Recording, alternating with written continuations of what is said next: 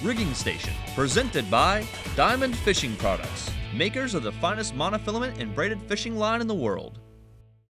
Kite fishing is a really awesome tactic. It's a lot of fun. Uh, it's a great approach and a great presentation for a variety of different pelagic predators, dolphin, kingfish, wahoo, sailfish, uh, blackfin tuna. We've said it over and over. Having the right tools for the job certainly leans the odds in your favor. We're fishing seven foot Chaos composite rods rated for 15 to 30 pound line. Uh, we've got the rod matched to a Daiwa Saltist size 50 reel. What's key is that it's a high speed reel, a 6.4 to 1 gear ratio.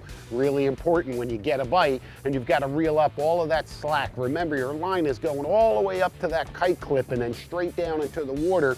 You get a bite, you've got to get that line and reel up all of that slack as fast as possible. And that's where that high speed reel comes into play. We've got our reels loaded with fresh 30 pound Momoi diamond line. Our rig is pretty simple.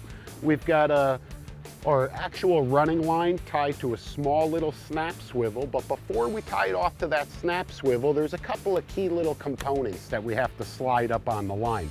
First is a small ceramic ring. That's actually what's gonna clip right to the release clip on your kite line. This way that release clip doesn't damage or chafe your running line.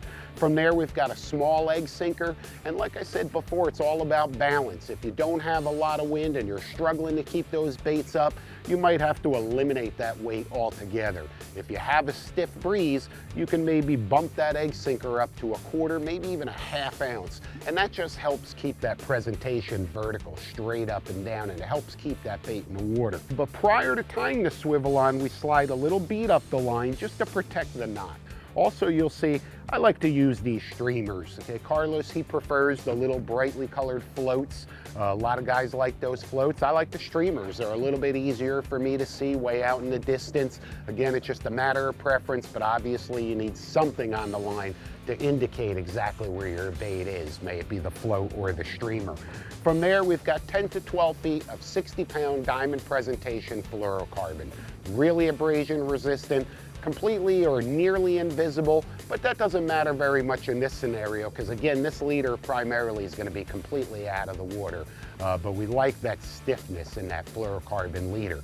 And as I mentioned earlier, during the wintertime, big king mackerel, wahoo, these toothy predators are always a possibility. So we always include about an 18 inch trace of 60, 61 pound uh, wire leader. I connect that to my uh, fluorocarbon to my 60 pound fluorocarbon with a small Albright knot, very streamlined, no additional terminal tackle layer. And I've got the entire rig finished off with a VMC 80 live bait hook. This is a J hook. If we were specifically targeting sailfish, then we would only be fishing the circle hooks. But we're out here looking for dolphin, kings, wahoo, just about anything. I mean, we're out here meat fishing today, so the J hook is just a perfect scenario. But I'll tell you what, if you spend the time, if you're rigged right, you're gonna catch them.